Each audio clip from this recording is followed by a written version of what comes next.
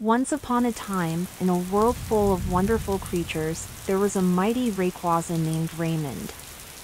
Raymond was a special Rayquaza, not only because he was incredibly strong, but also because he loved to explore new places. One rainy night, Raymond was strolling through the city in his yellow gum boots, holding an umbrella to shield himself from the rain. He loved the sound of the raindrops pattering against his umbrella as he walked through the streets. Suddenly, he heard a little voice calling out to him from behind. It was a tiny Pikachu, drenched from head to toe, shivering in the cold.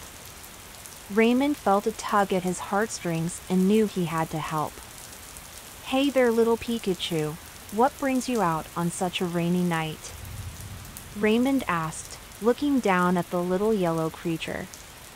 The Pikachu looked up at Raymond with big, sad eyes. I lost my way home and now I don't know where to go, he replied. Raymond knew he couldn't leave the Pikachu out in the rain, so he decided to help him find his way home.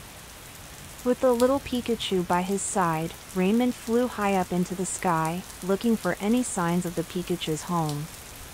They searched high and low until finally, they saw a little house with a light shining through the window.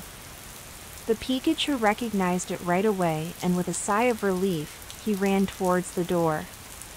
Raymond watched as the little Pikachu was welcomed home by his family.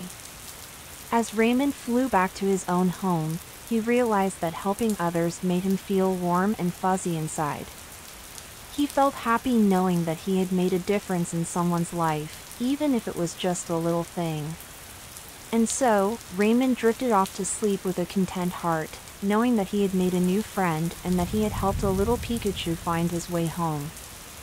The end.